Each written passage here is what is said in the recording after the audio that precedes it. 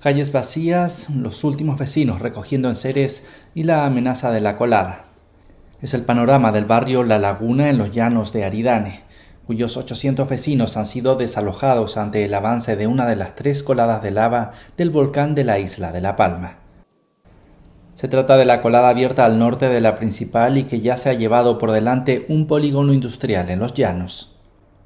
Además de la nueva colada norte existen otras dos lenguas, la primigenia que apenas tiene aporte lábico y otra situada más al sur que afecta a nuevas construcciones dentro del perímetro de seguridad.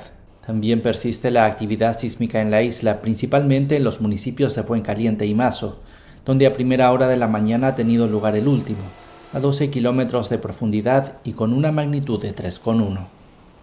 El tremor volcánico ha aumentado, lo que podría revelar un mayor contenido de gas en el magma que sale del centro eruptivo. Las condiciones meteorológicas han favorecido la mejora de la calidad del aire en las últimas horas, lo que ha permitido el levantamiento del confinamiento de 3.500 personas decretado el pasado lunes.